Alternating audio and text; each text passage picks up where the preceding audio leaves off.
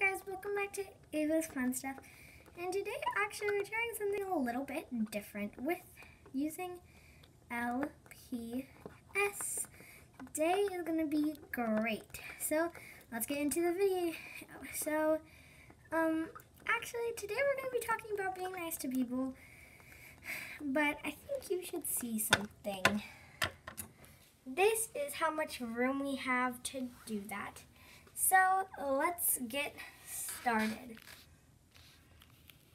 So guys, our first thing I think we're to do is we're to talk about being nice to people. So let's get started.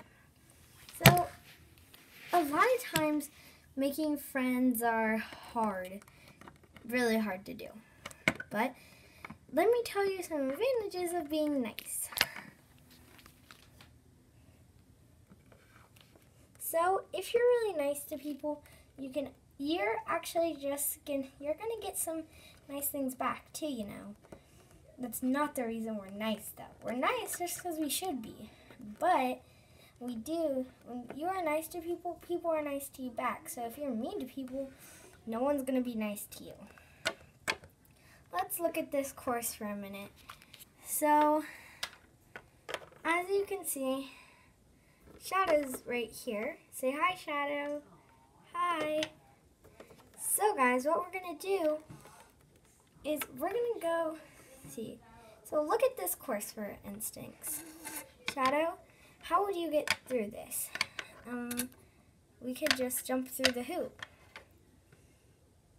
Yes, but if we're trying, but the we should go the easy way through instead of being mean to people. What's the easy way? Well, easy way is to walk around it. Good, guys. You so guys, when this pretend this is your friendship thing, are you gonna suffer all that much to be mean to someone and try to go through but fail? Or are you gonna just take the easy step and go around? Shadow, what would you do? Good job.